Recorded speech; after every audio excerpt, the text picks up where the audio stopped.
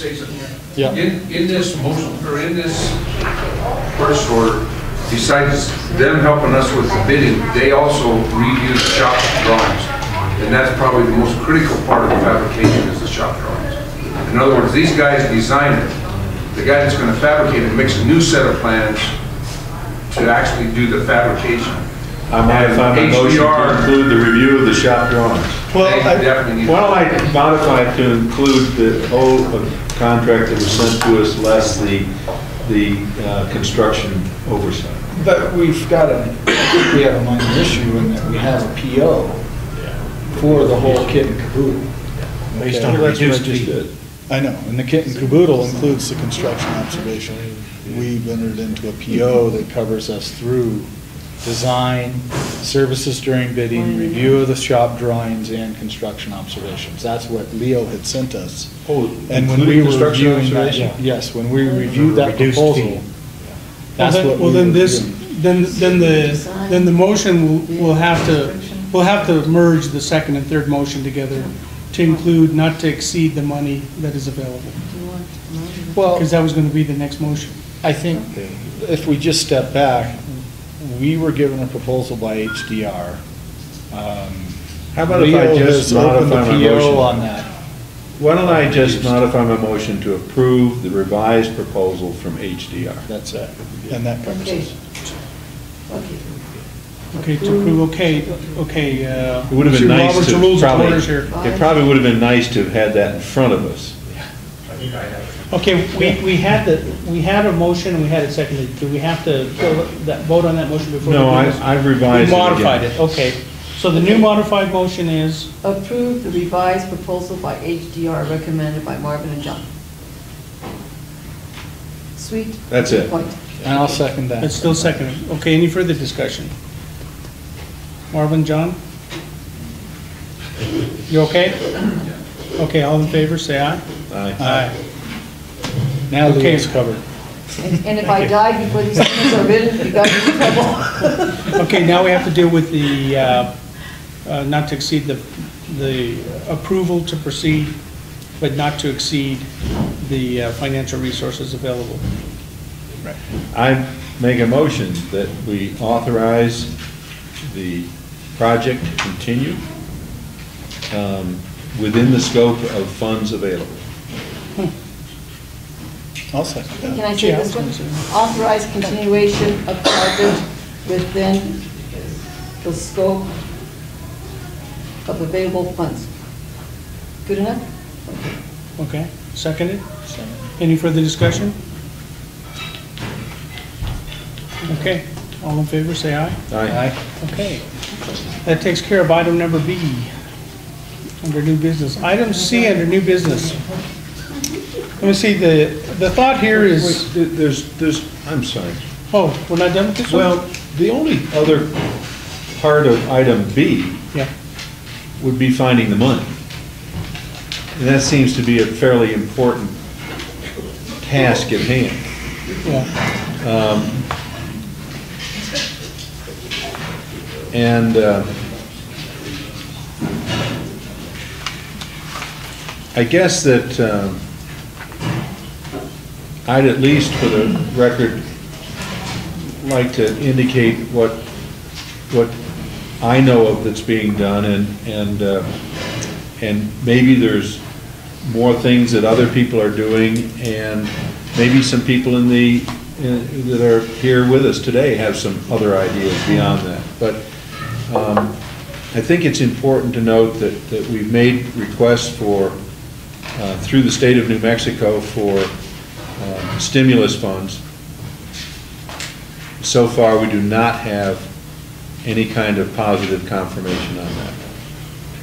Um, We're, we're also looking for the possibility of some funds coming through the uh, federal off-system bridge money, it's called. And apparently, there's a balance of about $600,000 that's potentially available through that source. Um, Rhonda Faught, who's the former uh, Secretary of Transportation, who's now a consultant and gets paid to help people like us find money in the transportation department, um, is doing this for us, because she likes the railroad, and uh, that's pretty nice. Um, So she's checking on that for us. And then there's a, there's another fund through transportation called the Transpo- Transportation Enhancement Funds. And there's about a $3 million balance in there. Um, And she's working on seeing if any of those could be accessed for us as well. For both of those, she'll be getting in touch with the governor to see if the governor would provide an instruction to make Cumbres and Toltec a priority. If we aren't, if an instruction doesn't come from the governor, then we're just in there with everybody else, and we're way down on the list, because other people have been in there for years trying to get some of those funds, ourselves being It's included. it's a- Yes, the four hundred thousand we just got from the RBC was a five-year process. Yeah, New Mexico, it's a very arduous task. and that's out of the enhancement fund. Right, exactly. So, all three of those are dependent on the governor. And it's really important that he hear from people. Did I mention this before? That he hear from people how important it is to support this effort to repair the trestle. And, and so, um, but she's gonna be taking that request to the governor, and and we'll see what happens. So, we're working on those too. I, I also, during the lunch break, heard from the mayor, and, and Archie apologized that he isn't here. Apparently, he's, he's sick. He missed his council meeting last night because he was sick. Um, He's, he's uh, uh, a very active participant in this regional planning organization, the, the COG, that, that deals with these transportation enhancement funds. So um, I'm going to share all this information with him, and hopefully not only will he know who to contact, but he's going to be making some calls back to the governor again. Um, He was going to try to set up a meeting with the governor, and I told him that he needed to make calls this afternoon. So hopefully, he's going to be calling back to the governor again. And the one other thing that, that, that I've been working on is to, as I mentioned earlier, try to get some funding through the federal transportation uh, secretary. And, uh, and that would be with the support of, of Ben Ray Lujan and, and our senators. So we're still working on those issues as well.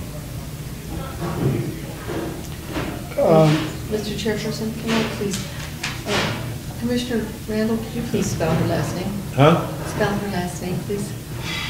Ra- Rhonda, uh, Spell her last. Rhonda's last name. Oh, F fa- A U. F-A-U-G-H-T. Thank you, sir. Okay. And Lenny, maybe you could tell us what's, I know you've taken the lead as far as working with the governor's office, and is anything happening there? Have you heard anything? There's, uh, they're non-committal um, at this point. um, Which is the not last- That uh, called in uh, before the meeting today, and there was, uh, there was no commitment uh, on anything. Uh, Asked for an update, though, because this was new information about the, uh, you know, using the uh, track funds, or I mean, the, yeah, the track funds.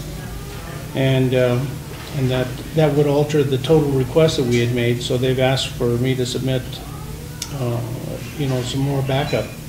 And, I mean, we have to do that. In every case, we have to, whatever they ask for, we have to, to supply them that information. You know, you you probably listed five or six options. Uh, I wasn't uh, keeping track, but I think we need to keep, make sure that we're ready to support for them. Absolutely. So all, and those are with the Department of Transportation. This may be operational money or it may be trestle money, but we've also uh, submitted a letter to Senator Bingaman to ask the New Mexico congressional delegation and the Colorado delegation to see if they can find resources for the operations. I mean, the, uh, the challenge that we have for both the trestle and the train is two million, on the order of two million dollars.